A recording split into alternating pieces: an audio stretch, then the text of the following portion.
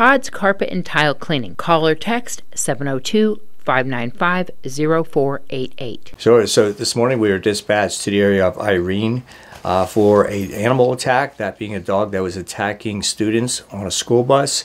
And there was also an initial report that adults may have also been injured by the same dog. As we arrived on location, we found a relatively stable scene, except for the fact that there was a large dog, probably about 50 yards down the road, standing in the middle of the road.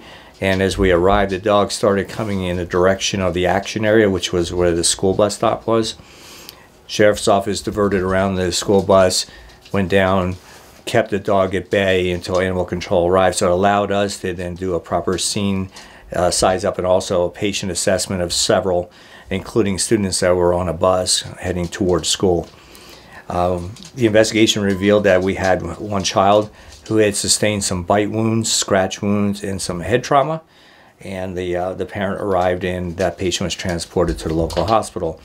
One other adult was um, treated uh, but declined to be transported for a cardiac emergency. That person was experiencing chest pain.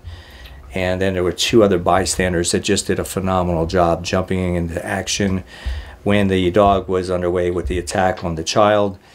Uh, an adult male um, grabbed the dog, pulled the dog from the child.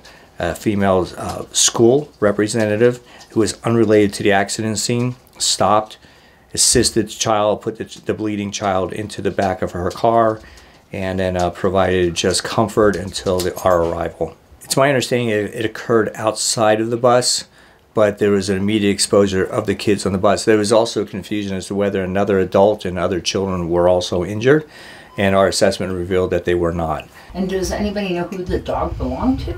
No, not from our perspective. I know the sheriff's office and animal control were working on that, and I'm unsure of the outcome.